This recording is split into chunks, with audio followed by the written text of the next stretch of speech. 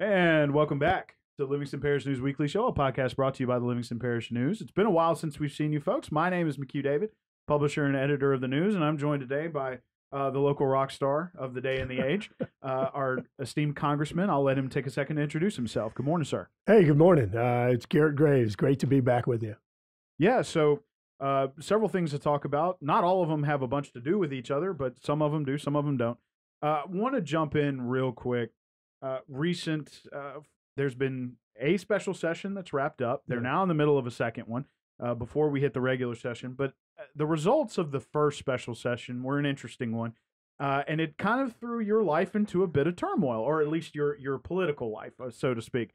Uh, so, if you would please just tell the folks at home how that wrapped up, how that affects you, and what you're thinking about going forward. Yeah, absolutely. So uh, there was a special session that was called very early this year after a new governor, after a new legislature was seated. And it was something that was not talked about on the campaign trail for anyone that was running for state representative, anyone that was running for state senator, and, and certainly not anyone that was running for governor. Yet, it was the first special session that was called, and it was to change the way that we elect people in Louisiana.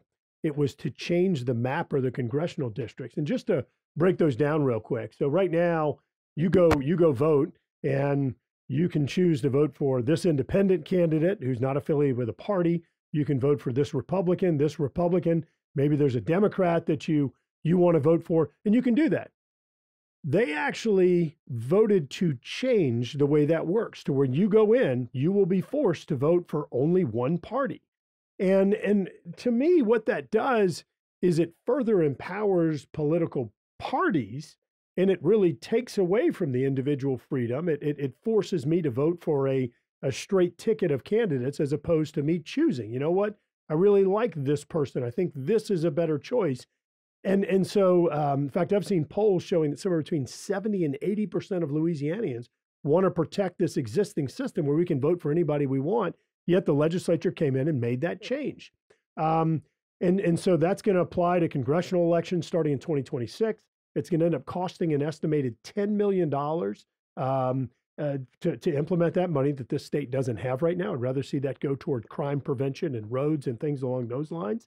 Um, and they also made changes. Well, let me, last note is that that's also going to force us to vote an additional time uh, during elections because now you're going to have what's called a primary where Republicans will have to choose their candidate, Democrats will have to choose their candidate. So it's going to cause a new election, which is why it costs more money. But the second thing that they did is that they drew new maps for congressional boundaries. Right now, as you know, Livingston Parish, the entire parish, is represented in the sixth congressional district where we currently represent. What they've done is they've come into the capital region and they have split up the capital region now into four different congressional districts. So, so it's no longer that you have one person representing Livingston Parish.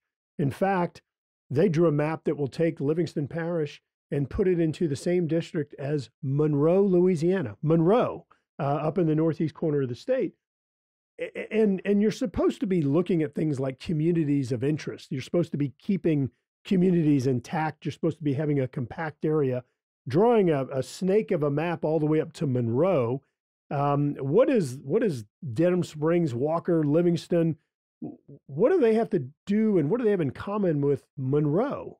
N- nothing, nothing. And and um, they have another uh, district that they drew that will connect other areas of Livingston Parish over along the North Shore, down to Plaquemines Parish, all the way around to the Bayou region, and and just really drawing these snake-like figures that that don't really maintain communities of interest, don't maintain compactness. Now, they drew another district that goes from uh, uh, the Gonzales area or Ascension Parish into Baton Rouge all the way up to Shreveport. so again, what does Gonzales or Donaldsonville and Shreveport have in common? Nothing.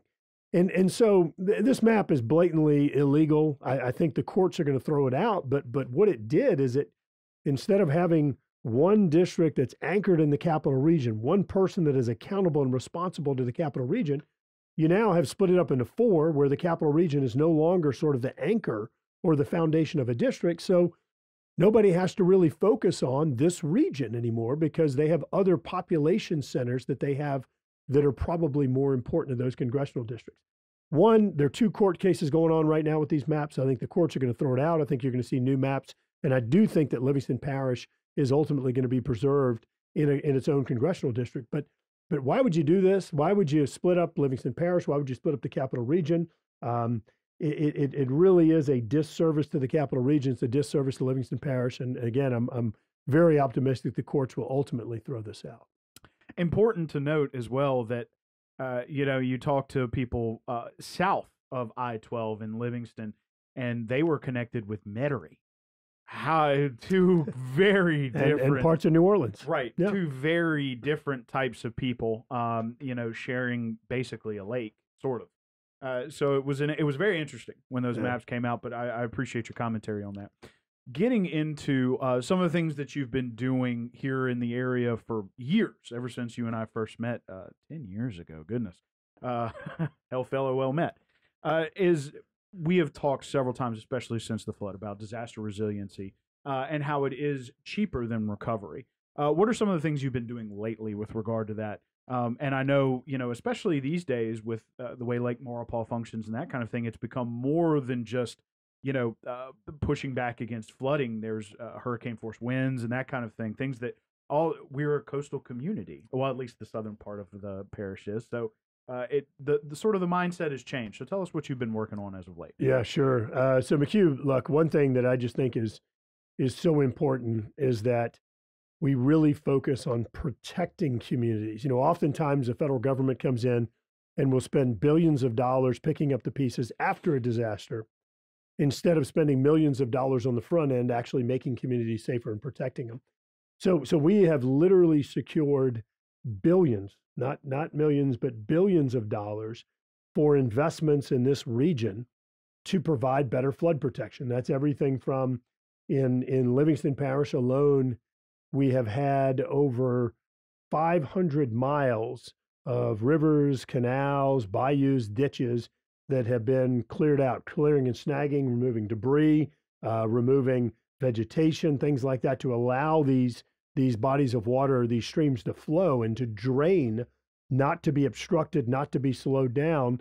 And so we we've we've done that. Uh, in fact, um, I said around 500 miles, but some of these these water uh, ways have been cleaned more than once. So I think if you add it all up, we're actually in excess of 900 miles, and this is the entire parish uh, has had major major cleanup work. Uh, number two, we've secured funds to build a new outlet. As you know, uh, and most people don't appreciate this, but but but everywhere from St. Francisville all the way down to Lake Maurepas, none of those communities, so Baton Rouge, Baker, Central, n- none of those communities, of course, Denham, uh, Walker, Watson, they do not drain into the Mississippi River, regardless of the you know close proximity. They don't drain into the Mississippi River. All of it drains down ultimately to Lake Maurepas, Lake Pontchartrain, Lake Borgne, Gulf of Mexico. So you have the the Comite River that runs that northwest southeast direction. You have the Amite River that runs the uh, the the northeast to, to southwest, and then it all continues down from Denham as as the Amite River uh, down to the Lake Maurepas. So the only the only two outlets of of the Amite River that drain into Maurepas, you have the diversion canal, and you have ultimately Blind River that that, that drains. Well, we are actually funding now a third outlet uh, that we call the Highway 22 spillway. So sort of in that um, uh, Port Vincent French settlement area, we're going to have a third outlet. And so what that does is it allows for faster drainage of the Amite River during flood times. This this this outlet, this flow spillway wouldn't wouldn't flow all the time. It's only when you have high water. And so it provides a third outlet, getting water sooner, faster out into Lake Maurepas, um, therefore bringing water levels down faster. And that really complements some of the other work that we've done. Of course, something we've talked about since the beginning was the Comite River Diversion Project, which is um, we are now building a project that for the first time ever will actually connect that Comite Amite drainage basin with the Mississippi River. We're building about a, a 12 mile river from the Comite um, over to the Mississippi River. This will be the first time that those are connected. And we, let me say it again, we are effectively building a new river um, that is going to have the capacity of the Arkansas River in some cases. And uh, so that is well underway. The problem, uh, twofold. Number one, Uh, back when we came in, broke all the log jams, and secured full funding for that project years ago, the Corps of Engineers told us it was going to be $342 million. So we secured all of it. Um, they came back and said they needed a little bit more. We got them a little bit more, which was about 125 million. Um, little, let me put that in parentheses there. Um, it's all relative. And uh, and then they came back again and basically told us that they were about 406 million dollars short. So let me say it again: 342, 125, 130, and then they came in and they they basically said that um, that this project was going to be just shy of a billion dollars. Um, so what that caused us to do was two things. Number one, immediately launch an investigation on why in the world, how in the world this project's cost could have tripled. Uh, secondly, is securing money to make sure this project is finished. So we've been successful um, in securing all of the money that is needed to finish this project. We are continuing the investigation to better understand how the cost surged or skyrocketed and how we can recapture some savings and prevent this from ever happening again. Now, the, the one of the main components of this, or a big component, is that the they found a interstate natural gas pipeline that was built in the 1950s, still live today, providing many states with, with natural gas, that they did not realize was on the project site that actually crosses the project in three places. Um, so they actually had to relocate the gas line, which initial cost estimates on the relocation was $236 million. Um, on a project that I remind you at the time was 342 million. Um, and so just insane things going on, unacceptable that they that they um, they didn't know that this pipeline was there. I mean, as you know, Comite Project's been around since the early 80s. I don't know what in the world people have been doing if they haven't found this pipeline, but by now, but but all sorts of curveballs thrown at us. But we have been able to work through all of them. We're still addressing some of the pipeline issues, the gas pipeline issues, but have been able to eliminate one of the uh, uh, problems, and we're still working on the other two right now, the other two crossings. And um, but ultimately, the project's underway. It's going to get finished. I'm gonna I'm gonna absolutely see to it. We're going to keep fighting to get this thing done. And obviously, uh, broke a log jam that has been in place since the 1980s to get this project moving forward again, get it fully funded, not once but twice or three times, I guess. And um, really excited about the progress and the new flood protection that's going to provide to us. So so, you know, really long answer to your question, McHugh, but bottom line is what we're doing on disaster policy is we're being proactive. We're changing from this posture of, hey, we're just going to come in and spend billions of dollars after a disaster happens, whether it's 2016 flood, Hurricane Katrina, what have you. And instead, we're going to prepare these communities for flooding. We're going to prepare these communities and prevent flooding. And ultimately, that's going to save billions of dollars. So, uh, you know, one of the interesting things that's going on here uh, lately over the past few years is there used, and still is, I shouldn't say used to be. I say used to be because a lot of changes have been made to the Amite River Basin Commission. Yeah. Uh, one of one, not anything of like and kind around it, uh, but uh, for quite a few years established in the 80s uh, and, you know, may have been around some of that Comite stuff as well as the Darlington. Um, but I wanted to ask you about um, the changes that have been made to ARBC specifically. You know, have, have have you had more participation with ARB? And that's Amite River Basin Commission for those who aren't keeping up with the acronyms. Uh, have you been participating more with the ARBC? Obviously, they're trying to be a little more proactive as well. So ARBC is effectively the levee district for the the, the Amite River uh, and for the Comite River for that that water body or that um, water basin, and and so it has representatives from all of the parishes that that are uh, that drain into or affected by by that watershed, and and they are you know effectively the the the driver, the local driver for the Comite diversion project. Um, there were some reforms that were made to levee districts in New Orleans after Hurricane Katrina, consolidating levee districts, trying to make sure they had professional standards, that they had engineers and accountants and lawyers and others on the board, people that could actually bring some experience or, or, or relevant background to the board. Um, the reform of the ARBC, I, I think that made sense. I mean, look, this is a serious project. Flooding is fundamental here. We can have the best schools and roads and churches and and, and, and communities. But if they're underwater, it doesn't matter. It's Yeah. fundamental. And so I think doing work to reform and professionalize the board is something that makes sense. It's worked well in the greater New Orleans area after Katrina and some of the, the consolidation and changes they made. So, certainly supportive of the objectives of that. Um, we have been working with them uh, a bit. They, they just recently hired an executive director and kind of reconstituting themselves. So, we haven't had a ton of interaction with, you know, what I'll call the new board. But, you know, let me say it again fully support the, the goals of that uh, reform and update. I think there's some other things that probably should be looked at because ultimately the Comite River uh, diversion project is going to take a lot of operations and maintenance to, to maintain that project. We've got to make sure it continues performing at the intended flows and things like that. And ARBC is going to be playing a key role there. Um, we've been working with them on dredging areas of the Amite and Comite River. Um, and and we're, going to have to make sure that those things are maintained, you know, because if you allow water bodies to get clogged up or if you're not performing proper maintenance and they're not draining at the right flow rate, then it's going to cause flooding somewhere. And and so I, I think it's really important that, that we really professionalize these operations, that we we maintain an appropriate standard of performance of these projects, and and uh, so we're going to be working with ARBC to make sure that the billions of dollars we secured in new investments continue to perform to the level they're supposed to. So one more question regarding some of the things you said, the uh, sort of French settlement uh, Port Vincent spillway that you discussed.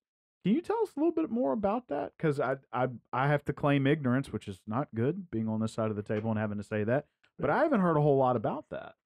Yeah. Um, so this came up um, whenever we were working with with the the region. We had folks, representatives from Livingston Parish, obviously, uh, folks like Mark Harrell and and uh, former Parish President Layton Ricks, and uh, and others. We had um, folks from East Baton Rouge, including the mayor and uh, public works director and others we were meeting with, and in Ascension Parish, um, the uh, the the current parish president and his former CAO and others, and just talking through.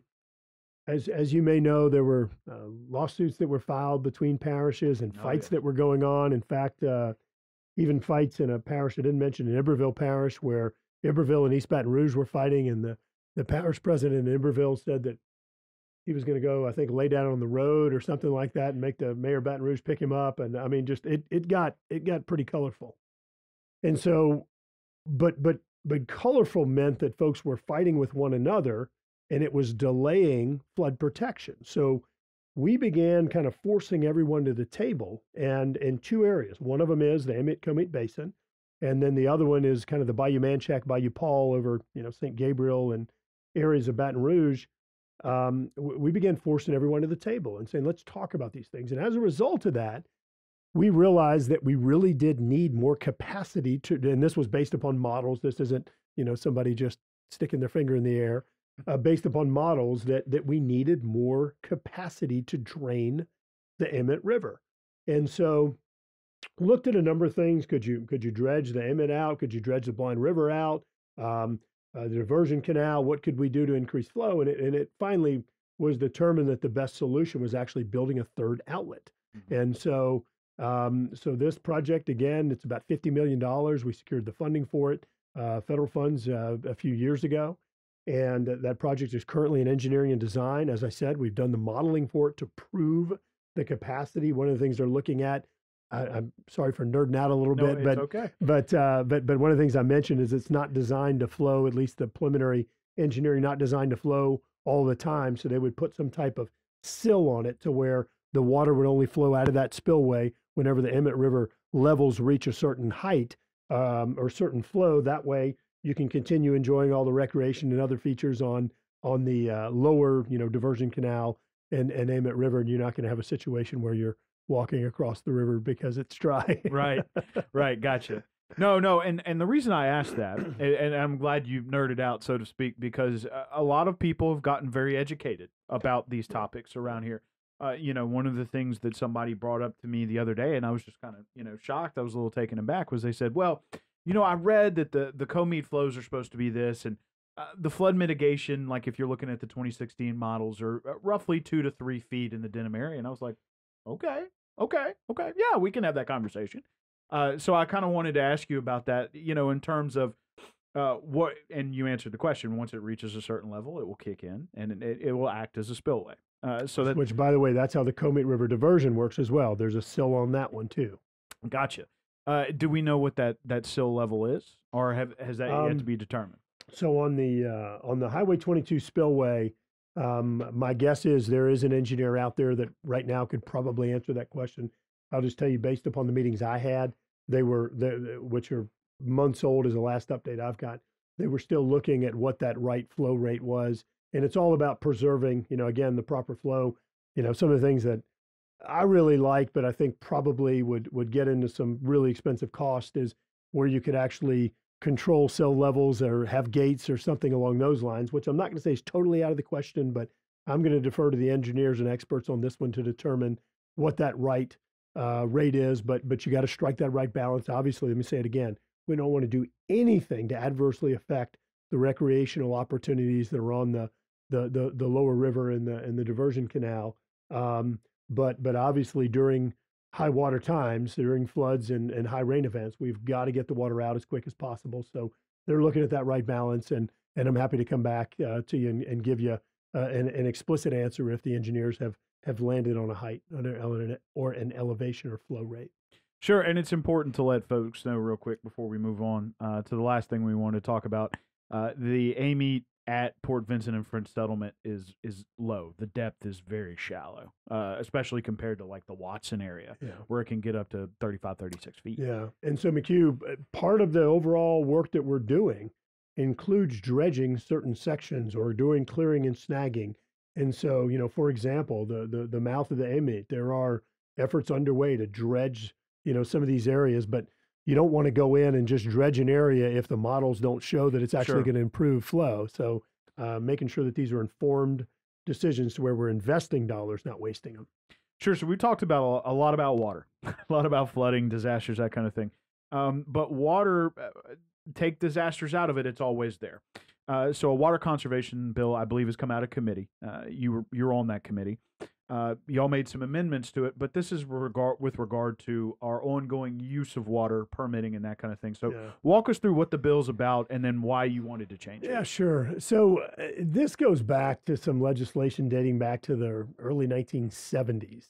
And um, it, it has to do with everything from what many people in Livingston Parish or, or this region are familiar with, and that's a 404 wetlands permit. Anytime you, you want to go do something, whether it's, you know, build a driveway or build a house or some other type of structure or a road, oftentimes uh, there are wetlands that are impacted from from that work. And there's something called a 404 permit. It's related to section 404 of the clean water act where you have to go to the u.s army corps of engineers and get a permit to do that work and then you have to mitigate for uh, for the impacts to the wetlands that you've caused. Well there has been this ridiculous cat and mouse game with the EPA and the Corps of Engineers on one side and, and basically citizens of the country on the other, where uh, what the law says, and I'm going to nerd out again, and I'm sorry, but but Go for it. what the law says is the law says that that that wetlands have to be connected to quote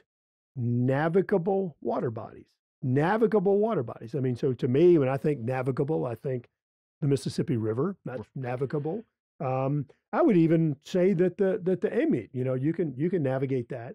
But when you start getting into some of these smaller bayous and streams and others, the reality is, unless you're in a really small kayak or something, which I don't really consider navigating, I- that's not really what I think Congress intended. So, so what's happened, and, and this is crazy, but this is this is true.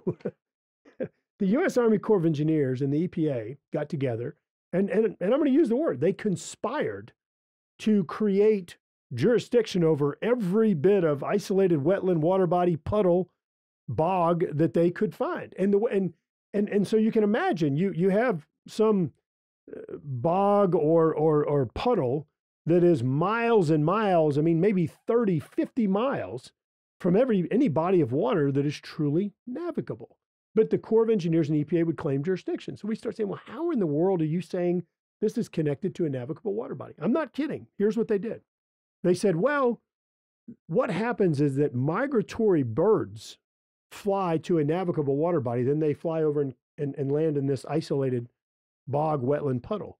And so, therefore, that's what Congress meant is that it's connected to a navigable water body through a migratory bird. Now, look, I throw the flag on that one. Yeah. That's that's bull. I mean, that's bull. Sure. So so you can imagine that this ultimately somebody spent, I'm sure, six figures, if not a million bucks on lawyers' fees and challenged this all the way to Supreme Court. Supreme Court said, you know, they said, no, no, no, that's ridiculous. They threw it out. So the EPA and Corps of Engineers come back and I may get my order wrong, but but they, they did another approach. It might have been the this one first and migratory birds second, but in any case, they said, okay, okay, it's it's not migratory birds. However, they are they are connected through underground aquifers. So aquifers underground, you know, the Sparta aquifer or whatever, um, that that that these bogs or wetlands drain into, even if they're 50 miles from a, a navigable water body, they all drain into an underground aquifer uh, that provides groundwater. And and so once again, I, I, throw the yellow flag and say that's bull. And ultimately, somebody spent, I'm sure, an exorbitant amount of money, and they took this all the way up to Supreme Court, and um, and and they lost, and and meaning the EPA and the Corps lost, and and the court said, no, no, no, this is bull. So there's been this cat and mouse game. If anybody's interested, one of them was called the Rapanos decision, another one was called SWANCC. Um, and um, it, it, was a sewage and water authority of, of Cook County, I believe, in Illinois. Um, and so there were a number of different cases that were out there. Where there was a more recent one, where where the EPA under the Obama administration was trying to say that that WOTUS, which is waters of the U.S., which is related to wetlands, that it is defined by all of these things that you know. Once again, just brought in everything.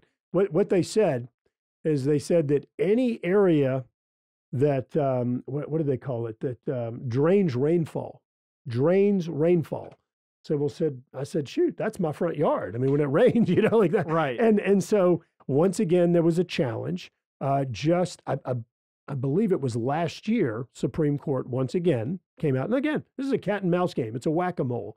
Um, Supreme Court came out and said, no, no, no, this is bull. So there was a bill that we did, and and what it does is it tries to help to streamline and and refine the process by which WOTUS definition is declared. It, it, it tries to expedite the utilization and, you know, with right permitting and all that stuff for different types of projects. And what we did is the Supreme Court, excuse me, the EPA and the Corps have failed to issue any new guidance on how this new Supreme Court decision is supposed to be interpreted in South Louisiana, which is has wetlands all over the place. And so we did an amendment that directs them to provide guidance to the public, to the Corps of Engineers, and to the EPA that, that says this is how this is now going to be applied because the court has thrown out these Obama era rules that were way too liberal. And so you got to tell us what rules we're operating under.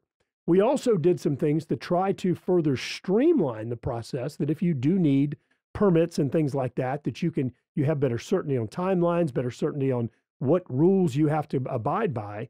And and so really this is all about just trying to strike that right balance in protecting the environment and not stymieing or preventing economic use or development of properties that are privately owned.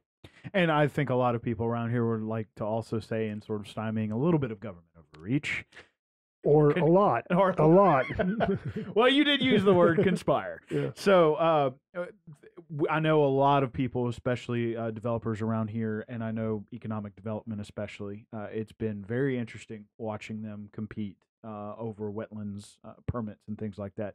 I know they have to be happy that you're you're fighting the good fight. Yeah, well, uh, and look, McHugh, you know, I'll give you another example. And I talked about that 900 miles of clearing and snagging. That requires permits from the Corps of Engineers. We ran into all kinds of problems from the Corps of Engineers working with the parish trying to get permits to do that work. And I mean, look, it's not like we're trying to go out there and go, you know, pour concrete over a wetland. We're simply trying to restore function to a drainage canal or to a bayou or stream or river or waterway. And the Corps of Engineers was fighting us on this stuff. You know, and and look, I got to tell you, it, it, nothing makes me more mad or frustrated than things like that. Whenever all you're trying to do is do what's right, do something good, and you've got your own government that's out there obstructing you and saying, no, no, we want you to keep flooding. And, and, and obviously they're not saying that out loud, but by their actions, that's exactly what's, what they are saying. And, and so it, it, we really have to reform and streamline the way that all of these permits and regulations are forced upon private families, homeowners, businesses. It, it's it's really frustrating, and it's like a hidden tax because it costs so much time and money to comply with all of these, all the red tape, and and jump through the hoops. And there's a lot of them. So, thank you, sir. You. Appreciate you, you. taking the time. If you want to introduce yourself real quick. All right, I'm uh, Congressman Garret Graves, and we represent uh, South Louisiana in the United States House of Representatives in Washington D.C. And uh, great to be back with you. Always a pleasure to have you in the studio, sir. I know you're a busy man. I appreciate you taking the time. I know you're going to be in Livingston Parish today, Tuesday, February 20th. So hopefully you'll have some good news to share or get to hear about what's going on. Uh, my name is McHugh David, publisher and editor of the news. Appreciate you guys for joining us uh, for Around Livingston. This is a podcast brought to you by the Livingston Parish News. Please remember that we are on Facebook, Twitter, Instagram, and YouTube. We are once a week in print on Thursdays at $7 a month to get that in your mailbox. And we're also online, www.livingstonparishnews.com. We appreciate you joining us, and we'll see you next time.